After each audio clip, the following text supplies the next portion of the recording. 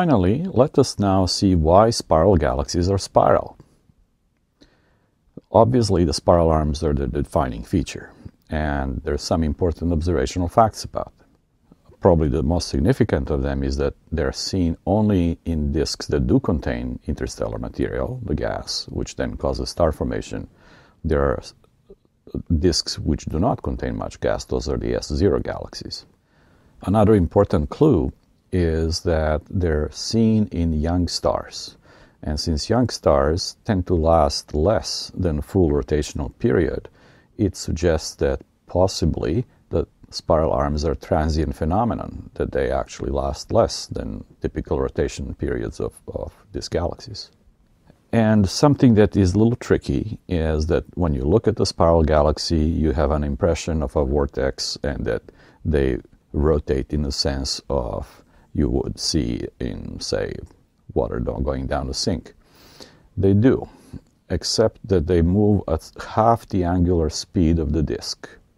So the disk of the galaxy rotates in the same direction as you'd infer from winding of the arms, and so do the spiral arms, but at half the speed. So relative to the disk, the spiral arms are actually moving in the other direction. They, they move as if they're scooping up the stars, uh, counterintuitive to what you think. Now, the important feature to remember here is that essentially all galactic disks have more or less flat rotation curves, meaning the linear velocity is roughly constant as a function of radius, which means that the angular velocity goes as 1 over the radius. And so if you were to start with, say, straight features directly through the galactic center, due to the differential rotation, it will naturally produce something that looks like segments of spiral arms, which actually presented a dilemma initially on, because if somehow spiral arms were constant, uh, because of the differential rotation, they'll keep winding and winding until they look like a really tightly wound spiral, and that's not what we see. Uh, an interesting way to approach this is as follows. Imagine that stars move around center of a galaxy on elliptical orbits, as roughly they do. But that sub subsequent orbits at larger radii are shifted a little bit. So it kind of looks like this. You start with one, then keep adding concentric but tilted orbits. And by the time you're done, you can see that there is something that looks like two spiral arms. And in fact, this is roughly what happens, but the, only, the question is why? The answer why is the so-called density wave theory that was developed in 1960s and 70s by Lin, Shu, Toomre, Kalnajs, and others. And the upshot is that spiral arms are density waves in differentially rotating disks if you were, say, to drop a rock in a pond, it will have circular waves going away from the center. But galaxies are not stationary ponds. And if you were to make a perturbation in a differentially rotating disk, like disk of spirals, what you get is not circular waves, but spiral waves.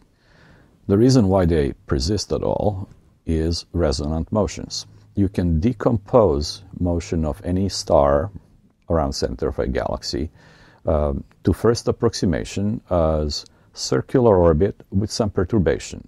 And the perturbation can again be approximated as, say, a star wobbling around that radius, in other words, making circular orbits around some hypothetical node on the, on, on the central part of the orbit. That resembles epicycles from Ptolemaic theory of solar system, and in fact, those are called epicycles. So if you have the exact match in the numbers of orbits around that center of the epicycle and its motion around center of a galaxy, you will have amplification. And that is exactly what's happening. So if you look at angular frequencies, omega, not to be confused with density parameter, and then look at the epicyclic frequency, again, angular frequency, then divided by integer number, which is usually small one, one or two or something, uh, then the first two resonances are called the Lindblad resonances, and they actually are the radii in which that particular rotational frequency occurs, from which or to which spiral arms extend. And since usually the first harmonic or first resonance is the strongest one, this is why we mostly see two arm spirals, although we do see, for example, four arm spirals and so on. So another way to phrase this is that spiral arms are density waves which are really resonances of perturbations in these differentially rotating disks. So remember the orbit crowding diagram, that is more or less what happens here, where an elliptical orbit is can be really decomposed as circle plus an epicycle that makes exactly one turn as the big one turns around. And so that's what causes the elliptical shape. Now, the orbit crowding really implies that there is going to be a density pileup, and that's exactly what spiral arms are. Now, these waves are moving relative to the underlying disk, gas and stars. And so, as the waves hit a material, they are compressing it. Compressed gas is liable to make stars which is why we see star formation associated with spiral arms. So this is why star formation can be triggered by spiral density waves. That's not the only way in which we can trigger star formation in disks, but obviously it works. And there'll be stars made of all different masses, but the most massive stars, as you probably know, are the most luminous ones, and they live the shortest. So it's the shortest lived, most luminous stars which haven't had chance to drift away from the wave before they explode that will delineate pattern of the spiral density waves. When you look at the bluer wavelengths, which are more susceptible to the radiation from young, hot, luminous stars, you see very prominent spiral density patterns. If you go to the redder wavelengths, say near infrared, where the, density, where the light is dominated by the older red giant stars, the spiral arms are still prominent, the density wave is still there, but not nearly as much or not nearly as sharp as you would see in blue or ultraviolet light. So schematically, you'd expect things to look like this. There is the spiral density wave that moves relative to the underlying disk in the opposite way of what you'd think from, say, water going down the sink. In other words, the arms are scooping up the material, so the leading edge of the wave is the inner part of the spiral. This is where density wave compresses the gas, molecular clouds, makes dust lanes, and then inside of them there'll be star formation. So you'd expect to see dark lanes on the leading edge, which is back backside of the spiral arms, uh, followed immediately by regions of star formation, and then kind of more diffuse bluer stellar population as you go towards the trailing edge. And now let's look what that looks like in real life. So this is a picture from Hubble Space Telescope of, uh, I believe, M101, uh, bright nearby spiral. And this is exactly what you see. Uh, the inner part, which is the leading edge of spiral arm, is where you see the dust lanes.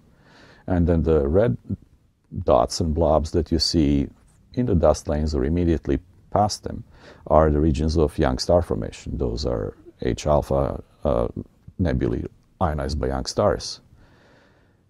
The young stars burn out through the dust, dissipate it, and then you see luminous blue stellar light, and then kind of fades away as you go towards the trailing edge of the spiral. So the theory predicts exactly this. To summarize, spiral arms are density waves that occur in differentially rotating stellar disks.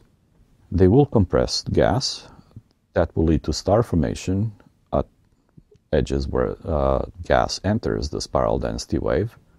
Stars themselves will simply pass through the density wave, just like water molecules pass nicely through waves in water. And this dynamical theory is very successful in explaining the global properties of spiral galaxies. But it's not perfect. First of all, it doesn't say why were the waves to begin with. Some sort of disturbance has to happen, and one possibility is that encounters between galaxies create such a disturbance. That's entirely possible. Another part, which is a little more difficult, is that not all spirals are perfect two arm spirals. There are detached spiral arms, spurs, things like that. So additional mechanisms might be responsible for creation of such patterns.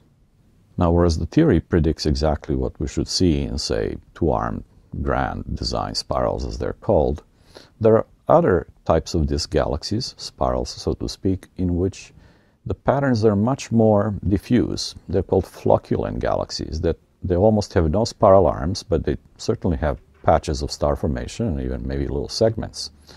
And they may be caused by a different phenomenon, namely uh, differential stretching, just like we addressed it in the beginning of the lecture.